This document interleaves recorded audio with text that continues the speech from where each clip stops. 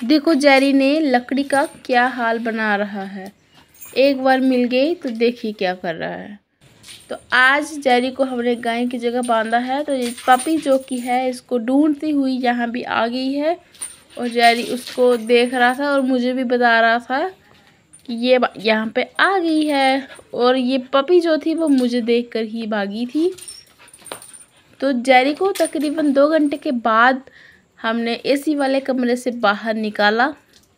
तो जेरी को अपना काम भी याद आ गया छोटा सा और ये जेरी काम करता हुआ और साथ ही में उस पपी को भी ढूंढ रहा, जो इसके साथ खेलने के लिए आई थी।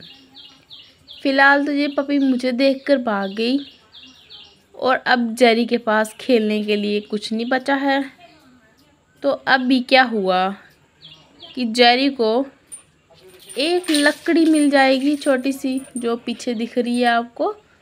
वो जो लकड़ी इसको मिल गई, और ये अभी इसी के साथ थोड़ा सा खेल लेगा।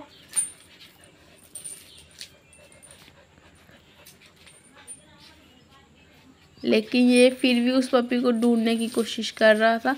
तो अभी ये इसके साथ खेलेगा थोड़ी देर के लिए। फिर वापस एसी वाले कमरे में चला जाएगा। तो अगर आपको जरी का वीडियो अच्छा लगा तो प्लीज़ एक लाइक ज़रूर कर दीजिएगा। हो सके तो चैनल को सब्सक्राइब भी कर लीजिएगा और मिलते हैं हम दोबारा से जरी के साथ एक और नए वीडियो में।